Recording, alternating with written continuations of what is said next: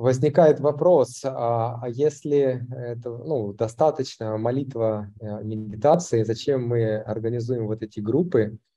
А, ну, как бы вопрос такой, что это же все сложно, там ну, большое количество людей, мы идем куда-то, а, что нужно, ну, то есть одному дешевле вот так вот будет. А вот если поехать одному, да, что-то там мы снимем, как-то вот, э, как сказать, а, с, с книгой походим. Вот зачем это все делать вот, как вот а, ну, с группой, вот организованно, а, если можно сделать это одному?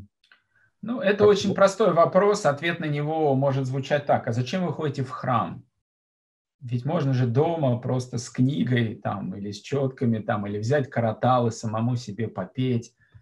Ну, то есть это тоже, конечно, все здорово, это работает, и, может быть, вы не потратите деньги там на какую-то там навязываемую вам группой или организаторами гостиницу там или что-то еще, но эффекта того не будет, потому что группа – это всегда проводники.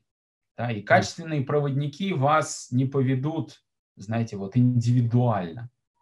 Вдруг вот вы такие, такой важный, вас кто-то знающий, кто-то э, имеющий опыт, да, способный рассказать что-то, способный кому-то вас привести, с кем-то познакомить, вдруг вас повел. Нет, таких людей немного, и, естественно, они объединяют вокруг себя группы. Поэтому основной момент, прежде всего, это проводники.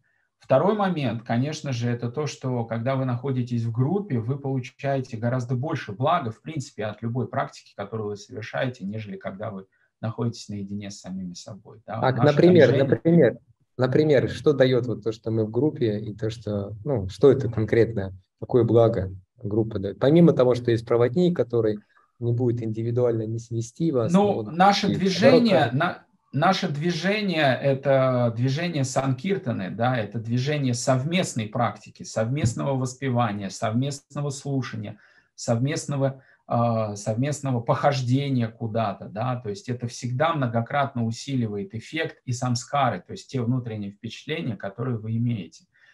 То есть я не за то, чтобы вы всегда держались толпы, да, и шли за стадом, как некоторые говорят. Иногда имеет смысл индивидуальный опыт какой-то получать, но вы это легко можете обрести в рамках групповой поездки, потому что никто вам не мешает там в какие-то свободные дни, которые специально для этого отводятся, там дни или часы, куда-то пойти, где-то там уединиться, где-то посидеть там одному там или с другом, или с подругой, и провести вот это приватное время, в котором вы получите какой-то особенный опыт. Но с точки зрения такой генеральной линии, конечно же, всегда лучше оставаться в группе, потому что вы гораздо больше получите эффекта от практики, от воспевания, еще раз повторю, от слушания. Это ключевые моменты. И э, еще один момент – это то, что когда вы находитесь в группе, вы находитесь под защитой. Вас защищают, опять же, проводники, вас защищает группа, вас защищает атмосфера. Вы там не впадете, знаете, в какое-то там неконструктивное, что называется, состояние. Ну, такое бывает, знаете, вот приуныл вдруг, как-то вот скучно стало. И что вы будете делать, если вы один там с самим собой в святой Дхаме?